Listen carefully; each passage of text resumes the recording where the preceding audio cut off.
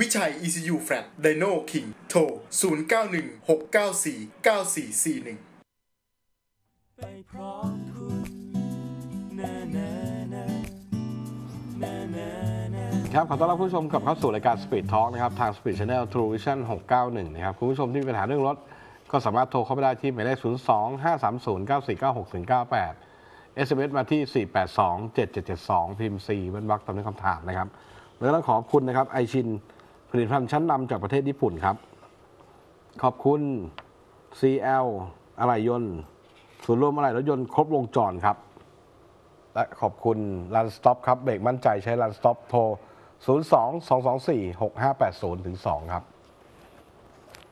มาเปิดรับสายนะครับ คุณผู้ชครัมบที่มีปัญหาเรื่องรถโทรเข้ามาได้เลยนะครับ ครับผม มาดู SMS นะครับเขาถามว่าการใส่เกียร์ว่างลงเขาสำหรับรถเกียร์ธรรมดาเนี่ยนะฮะจะกินน้ำมันน้อยกว่าการขับเข้าเกียร์เกียร์5ลงเขา ในระยะทางเท่ากันหรือไม่ครับนู่นนะไปกินน้ำเกลือที่โรงพยาบาลนู่นนะฮะใครก็ทำไงเกียร์ว่างลงเขาครับโอ้โหใจคอ มันไม่ได้ช่วยให้ประหยัดแหละมันมีแต่อันตรายแล้วถ้ามีอะไรขึ้นมาจะเบรกไงฮะใช่เอาอะไรฮมาเบรกอยู่ เบรก โอ้โหไม่มีใครทำแบบแล้วก็หลาย ๆ ครั้ง ครับ ที่เราเคยเป็นข่าวที่เกิดอุบัติเหตุอะนะ ฮะ ก็มีพวกอุตริแบบเนี้ยพี่เลนอืม ปล่อยเกียร์ว่างลงเนินลงเขา ครับ คือเราไม่รู้ว่าเอาง่ายๆสมมติมันมีน้องหมาวิ่งออกมา ฮะ เบรกยังไงอะใช่ใช่ฮะ จะเข้าเกียร์ก่อนแล้วก็เชนเกียร์แล้วโอ้โห โอ้โหไม่มีใครทำทันเราชั่วโมงนั้น ใช่ครับ หรือมีเหตุอะไรก็ตามขึ้นมาไม่มีใครทำอะแล้วก็อัตราการสิ้นเปลืองผมว่ามันอายอมรับว่า อะถ้าเราคาเกียร์เมื่อกี้บอกเกียร์อะไรนะ เกียร์5หรือเกียร์สูงสุดครับ เกียร์ห้าเกียร์สูงสุดก็ไม่ต่างจากฮะเข้าเกียร์ว่างเลยนะอืมถ้าลงเขาเนี่ยอัตราความสูงสูงเนี่ยมันไม่ได้มี engine brake เข้ามาช่วยนะ เครื่องยนต์มันไม่ได้ช่วยดึงเลยก็มีแต่ลดเกียร์ต่ำเห็นไหมเขามีป้ายอยู่ใช้เกียร์ต่ำเวลาลงเขาแล้วถ้ารถเกียร์ธรรมดานะ หรือเกียร์ออโต้บางครั้งยังต้องใช้เลยครับ เพราะฉะนั้น ถ้าเกียร์ห้ากับเกียร์โอ้คำถามนี้ไม่เอาเป็นว่าไม่มีใครเขาทำดีกว่า เขามีแต่ใช้เกียร์ต่ำนะ ไม่ต้องมองเรื่องความประหยัดหรอกนะครับ ไปประหยัดพับอาจจะถ้าบอกว่าเปลืองผ้าเบรกอะไรว่าอีกเรื่องหนึ่งผมเคยใช้ตัว flow flow meter จับตัวน้ำมันเชื้อเพลิงที่ไหล เข้าและออกจากท่อรางน้ำมันนะอืมมันมีความแตกต่างกันน้อยมากหรืออาจจะไม่แทบอาจจะไม่แตกต่างกันเลย ไม่รู้สึกหรอกระหว่างการเข้าเกียร์ว่างอืมนะครับการเข้าเกียร์ว่างแล้วปล่อยไหลนะครับโดยธรรมชาติมันก็คือ เครื่องยนต์จะทำงานก็คือเลี้ยงแค่รอบเดินเบาทำงาน ใช่ อาจจะมีชดเชยการฉีดเพิ่มของการฉีดตามอุณหภูมิ หรือฉีดตามคอมแอร์อืมไดชาร์จอะไรต่างๆที่ ECU มันฉีดเพิ่ม แต่มันก็นาทีหนึ่งเนี่ยมันฉีดแค่ไม่กี่สิบซีซีแค่นั้นเองนะครับคุณนอกจากคุณลงจากเอเวอเรสต์อย่างเงี้ยลงเขาไประยะทางแบบนะฮะโอ้โหร้อยกว่าโลอย่างเงี้ยลงอย่างนั้นอีกว่ากันอีกเรื่องหนึงจะประหยัดใช่ครับใช่นี่ครับในบ้านเรามันมีที่ลงเขาอยู่ไม่กี่ที่อะอืมแล้วก็ลงไม่ได้ยาวนานอะไรฮะ ไม่คุ้มหรอกแล้วเสี่ยงกับเรื่องความปลอดภัยนะใช่พลาดมาชนใช่ตูมไปไอ้ที่ประหยัดมาประหยัดไปประมาณ 5 บาท ซ่อมไปห้าหมื่นอย่างเงี้ยไม่คุ้มเลย ไม่คุ้มนะคือประหยัดน้ำมันแต่ไปจ่ายเบรกแทนไปครับจ่ายก็นู่นไปจ่ายค่าถ้าเบรกแอดสึกมิดไว้โรงพยาบาลอีกมันเป็นอ่าฮะเรื่องเป็นราวครับรับสายคุณนิพนธ์ฮะสวัสดีครับ ครับสวัสดีครับพี่ครับผมจะเรียนครับถามนิดนึงครับ ผมใช้ Ford Wildtrak นะครับเป็นเจ้า Wildtrak ครับตอนนี้หมดรับประกันแล้วอะหมด warranty ปี หมด warranty ครับ ปีนี้สามปีสองเดือน ถ้าผมจะเปลี่ยนน้ำมันเครื่องข้างนอกคุณจะเปลี่ยนยี่ห้ออะไรดีครับ หรือว่ายังไงดี ข้างนอกเขาเปลี่ยนได้ฮะใช่แล้วถ้าครับ Aisin นี่ได้ไหมครับ อะไรนะ Aisin ได้ไหมครับ ไอชินก็มีเบอร์สำหรับรองรับสำหรับตัวเรนเจอร์อยู่แล้วนะครับ ใช่ มีใช่ไหมครับ มีครับมีครับ มีครับ แล้วเป็น ปีหนึ่งผมจะเปลี่ยนครั้งหนึ่งดี หรือว่าปีหนึ่งเปลี่ยนสองครั้งดี ขึ้นอยู่กับพี่ใช้รถมากน้อยแค่ไหน ปีหนึ่งก็ไม่เกินหมื่นนะปีละหมื่นนะไม่เกินหเพราะมื่นตอน ตอนนี้ผมประมาณสองหมื่นเก้าสามปีเศษอืมอืมแต่ลักษณะการใช้โอเค ปีหนึ่งไม่เกิน1 0,000กิโลแต่ลักษณะการใช้คือใช้ทุกวัน หรือสัปดาห์หนึ่งใช้กี่วัน หรือนานๆเป็นช่วงๆใช้ทีครับ ๆคือวันหนึ่งใช้ไม่กี่สิบโล แต่ใช้บ่อยแต่ใช้เกือบทุกวัน อ่า ไม่ประมาณอาทิตย์ละห้าวันอืม คือถ้าใช้บ่อยๆ แบบเนี้ยสามารถดึงได้ถึง 10 เดือนนะครับ ปีหนึ่งก็อาจจะได้แต่ว่าผมแนะนำว่าสัก 10 เดือนเต็มที่แหละสิบเดือนนะนะฮะฮะใช่แล้วครับใช้ synthetic ดีหรือใช้ธรรมดาดี ต้อง synthetic ครับ ถ้าจะใช้ยาวแบบนี้ถ้านะใช้ยาว synthetic ครับผมถ้าเกิดจะเอา synthetic ของ Aisin ถ้ามีนะครับ มีครับมีเหมือนกันครับกันฮะใช้กับ Ford Ranger ตัวนี้เลยใช่ไหมครับ ใช่ครับใช่ครับครับแล้วควรเปลี่ยนไอ้ไส้ไส้อะไรอะไส้กรอง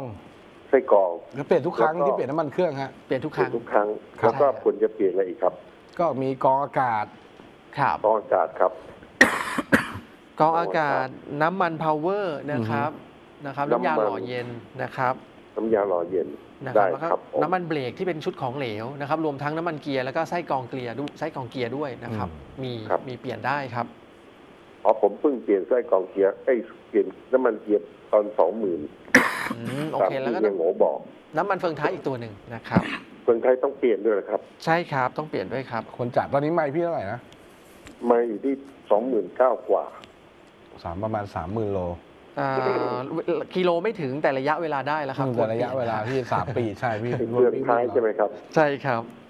แล้วแล้วใช้ยี่ห้ออะไรใช้เบอร์อะไรช่างเขารู้ใช่ไหมฮะรู้ฮะก็รู้ไอชินครับเนี่ยแหละเราระบุไปเลยก็มีหมดนะครับน้ำมัน ในรถในรถพี่เนี่ยในคู่มือประจำรถจะมีการระบุเบอร์และเกรดอยู่นะครับเป็น GL5 นะครับ นะฮะเอเอเออะไรไอ้เผาท้ายใช่ไหมฮะ ใช่ครับเฟืองท้ายครับอ๋อเฟืองเฟืองท้ายนะ EL ห้านะใช่ครับ เป็นสเปค GL5 แต่ความหนืดเท่าไหร่ลองเปิดดูในคู่มือดูนะครับ คันนี้เป็นไม่ไวแท็กใช่ไหมขับสี่ใช่ไหมไม่ไว้ถัดขับสองคอ๋รัอบขับสองโอเค เฟืองท้ายด้วยนะครับ ใช่ครับโอเคสามปีเปลี่ยนครั้งหนึ่งเฟืองท้ายโอเค ขึ้นอยู่กับพี่ใช้งานเยอะน้อยแค่ไหนอะครับ แล้วก็อีกอันหนึ่งก็คือ ถ้าพี่อยู่ในกรุงเทพป่ะหรืออยู่ต่างจังหวัดถ้าลุยน้ำมาอะไรอย่างเงี้ยผมก็ต้องย่นระยะเวลามา ไม่มีครับไม่มีลุยน้มันเผื่อจังไม่แน่พี่วันไหนพี่ไปไหนมันฝนตกน้ำท่วมมันต้องลุยใช่ไหมแล้วรถพิกอัพมันไปได้อะใช่ครับ มันก็ต้องรีเซ็ตไปเลยครับอ่าก็ต้องดูนะแลฮะหมดอีประกันทีปุ๊บเราต้องดูให้ดีกว่ากว่าเดิมด้วยซ้ำใช่เพราะนะคราวนี้เราซ่อมเองแล้วไม่ได้ศูนย์ดูแลแล้วำแต่ต้องเปลี่ยนให้มันบ่อยขึ้น หมดใช่ไหมน้ำมันเครื่องพวกนี้ ครับ มีเพราะฮะแถวบ้านผมมันมีร้านขายน้ำมันเห็นมันก็ตั้งไอจีไอจีครับอ๋ออ่าได้เลยส่วนครับบริการได้เลย ที่มีได้ไอเลยชินอยู่ลเนี่ยองใช้รับได้ครับเลลอยงฮะ รับฮะมีใช่ไหมฮะ EL ห้าเขาก็มีนะ มีคครัรับ บมีครับครับ เออพี่ผมจะรบกวนอีกข้อหนึ่งครับ ผมมีซีวิกเอ่อโฉมปัจจุบันนี้นะครับครับทำไมเพิ่งออกมา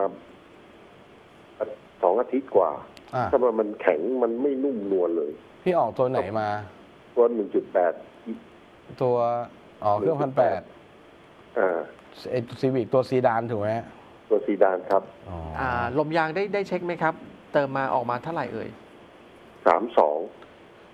32พี่สามารถถ้าอยากนุ่มกว่าเดิมนะครับ พี่ลองปรับดูสัก 30นะครับว่ามันดีขึ้นไหมนะครับ หน้าหลังหมดเลยใช่ไหมฮะใช่ครับเท่ากันสามสิบสี่หน้าล้อหลัอะหมดนะฮะถ้าดีขึ้นโอเคถูกใจก็อยู่ที่ค่านี้เลยอ๋อคปรัรับบปรับได้ถึงใช่ครับผมนึกใช่ว่าต้องสามสิบสามถึงสามสิบห้า ไม่ฮะไม่ฮะประมาณไม่นี้ครับใช่ไหมฮะครับผมสามสิบสามสิบต้นต้นๆเนี่ยฮะ คือถ้าคนชอบแข็งเนี่ย33 35บางทีขับแล้วเออรู้สึกว่ามันมันมันขับแล้วเมาละไหลลื่นๆดี อืม แต่บางคนบอกว่ามันแข็งก็อาจจะลดลงมานะครับอ๋อ ลมยางเนี่ยลมยางเนี่ยเราเอาเกณฑ์ของคำแนะนำของประตูที่เขาเปิดปแนะระนำ ตูมาพี่พี่จะเห็นมันเปิดประตูแล้วมันจะมีอยู่ เป็นหลัก แต่ว่าเราสามารถมีเขีปยนรับเพิ่มอยู่หรือลดได้ตามรสนิยมการขับของเรานะฮะครับอ๋อ ฮะแต่อันนี้มันแข็งจากเนื่องจาก ต้องบอกว่าก็ต้องยอมรับเขาเอาเน้นความสวยงามมานะฮะ Civic ตัวเนี้ยมันครับรู้สึกว่าล้อมาจากโรงงานล้อสิบเจ็ดใช่ไหมค่อนข้างใหญ่ครับ ล้อมันใหญ่แล้วก็ยางแก้มเตี้ยมันก็เลยมีความเป็นอ๋อสปอร์ตขับ firm กว่าเดิม แต่ว่าถ้าพี่ไม่ชินอาจจะรู้สึกว่าเอ้ยมันทำไมมันไม่นิ่มนวลครับ เขา concept คือตัวเนี้ยเขาตั้งใจทำออกมาให้มันดูเป็นสปอร์ต อ๋อแต่โช้คโช้คยังไม่ต้องเปลี่ยนใช่ไหมฮะไม่ไม่โอ้เกี่ยวดีแล้วไม่ครับเกี่ยวกับโชคดีแล้วนะฮะถ้าเปลี่ยนมันมีแต่แข็งกว่าเดิม ตอนเนี้ย ครับ โอเคครับ ขอบคุณพี่มากนะครับผม ครับผมครับส วัสดีครับผมได้ครับ สวัสดีครับต้องบอกว่ารถรุ่นใหม่ๆเนี่ยเขาเซ็ตมา แล้วก็ฮะ มันเป็นค่านิยมของคนไทยด้วยนะ ฮะ ล้อมต้อง เอ้ยมันทำไมให้มาแค่ร้อยสิบห้าไม่โอ้โหขายไม่ได้เลยนะครับ ร้อยสิบหกก็ไม่ได้เดี๋ยวนี้เดิมๆนี่ต้องร้อยสิบต้องเจ็ดมี17แล้วเดิมแล้วทีนี้พอยางร้อยสิบเจ็ดยางล้อมันใหญ่ยางมันต้องบางลง ๆอืมเพราะไม่อย่างงี้นมันก็ตามไซส์มานะใช่ฮะ ยางที่มันซีรีส์แก้มต่ำมันก็เป็นยางแบบรถสปอร์ตอะไรใช่ จริงๆแล้วถ้าเป็นสมัยก่อนเขาเรียกยางรถสปอร์ตฮะปัจจุบันลามมาถึงรถบ้านแล้ว ไม่มีแล้วไอ้ยางแก้มสูงมีแต่รถปิกอัพใช้แล้ว ใช่ เพราะฉะนั้น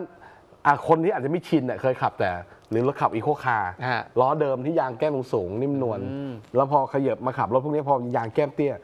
แล้วบอกมันไม่นิ่ม ฮะ มันก็มีผลแต่ว่ามันก็ไปดีในเรื่องเวลาขับเร็วมันสมรรถนะมันดีกว่าอยู่แล้ว ยางมันหน้ากว้างกว่าประสิทธิภาพ แต่มันก็ต้องแลกกันกับความนุ่มนวลนะครับช่วงนี้ไปพักเบรกโฆษณากันสักครู่เดี๋ยวช่วงหน้ากลับมากับรายการ Speed Talk ครับ